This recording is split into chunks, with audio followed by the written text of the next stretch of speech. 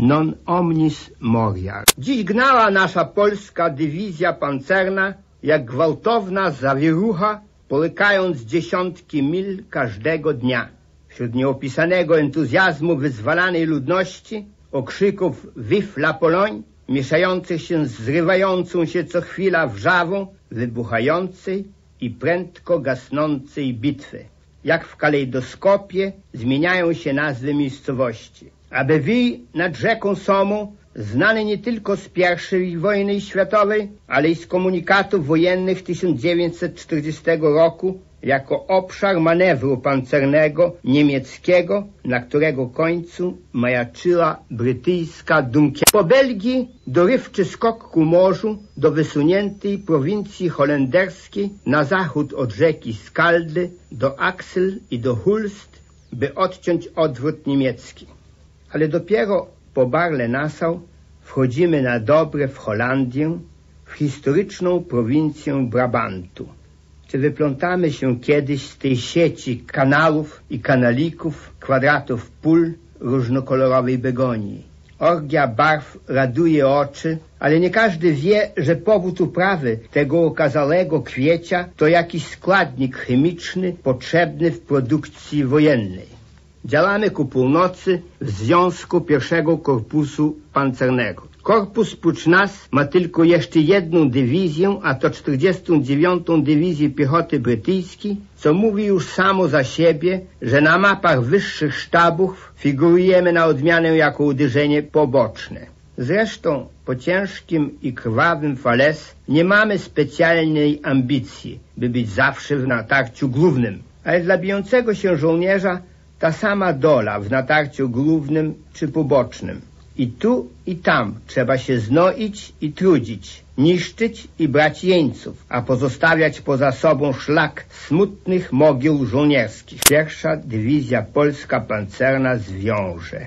Ale nieprzyjaciel to nie snopy potulne na polu. Trzeba w działaniu pokazać dobre kły, a to jedynie uzyska się natarciem, a przede wszystkim sukcesem takiego natarcia.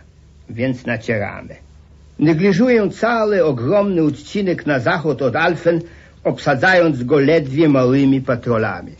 Z radością wyłażą ludzie, czołgi, pojazdy z roztopionego w błocie terenu. Gdy zbieram dywizję na prawym skrzydle, na bardziej suchym pasku terenu, by mocno uderzyć przez lukę w lasach Alfen ku północy. Natarcie pomyślane jako krótkie, o ograniczonym zasięgu, by wypełnić zadanie związania sił niemieckich, kończy się przekraczającym grubo zadanie sukcesem.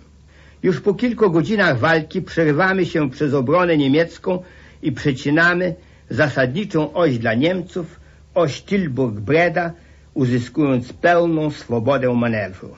Za zgodą specjalną marszałka Montgomery'ego dywizja robi zwrot o 90 stopni i uderza na zachód w celu opanowania Bredy, przed którą wciąż jeszcze drepce główne natarcie kanadyjskie, mimo ilości dywizji zaangażowanych i siły ognia.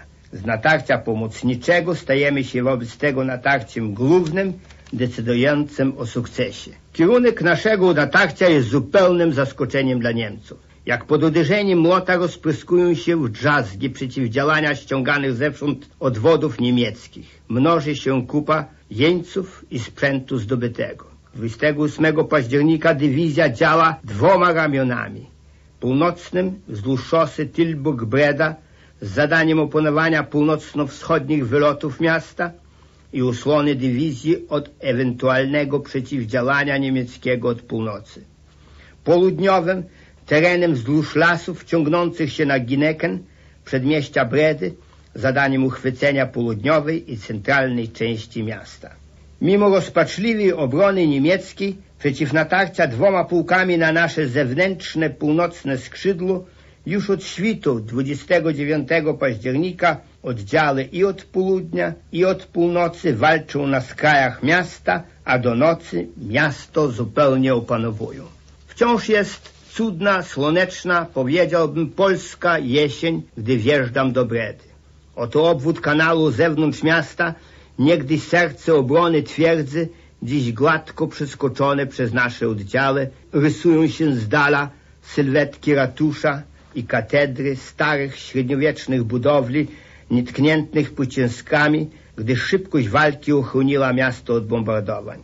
Jedynie na północno-wschodnim rozdrożu szosy Tilburskiej na półrozwalone kościółek patrzy z niemym wyrzutem, że nie uchroniła go szalejąca bitwa, ale też jakby podkreślając, że poświęceniem się może i uchronił wiele żyć ludzkich. Wśród tłumów wiwatujących Holendrów także jeep mój przyciska się z żółwią powolnością. Stary rynek zapchany dziś nie straganami z towarami, ale polskimi czołgami i kariersami oblepionymi przez tłumy, szczególnie dzieci holenderskich. Z ukrycia wychodzi dawny burmistrz miasta von Stolbe i wśród rosnącego entuzjazmu ludności wprowadzam go na stolec burmistrzowski. Miarą radości przypełnia świadomość, że oto Breda, ich ukochane miasto, nie zostało zniszczone, że dzięki szybkości działania i manewrowi dywizji niemal nietknięte zostaje